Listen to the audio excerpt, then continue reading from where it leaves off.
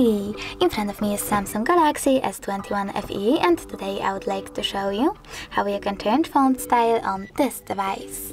Start by opening settings and choosing display. Now you need to scroll down and choose font size and style. Then go into font style and click one of those fonts like that one, to pick the best one for you.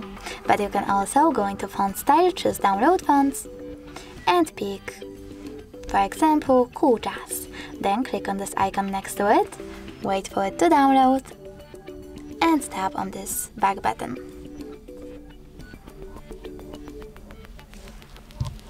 After that, select new downloaded font. And now, as you can see, style of my font has changed again. Thanks so much for watching. If you enjoyed this video, don't forget to leave a like, comment and subscribe. Bye!